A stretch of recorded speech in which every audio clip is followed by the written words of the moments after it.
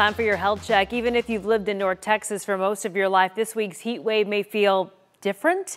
This is not a dry 100 degree day. The humidity and high heat index really take a toll on our bodies. In the most simple terms, temperature plus humidity equals heat index. And when you combine them, that's how your body really feels in the heat. The biggest concerns in weather like this are dehydration, heat cramps, heat exhaustion, and even heat stroke. The more water in the air, the less effective that sweat evaporates. And you need to have that sweat to evaporate to cool you down. And that's why we can't say it enough. You need to limit the amount of time you spend outside this week or at least start early. And your exertion needs to be limited as well, especially in the peak of the day.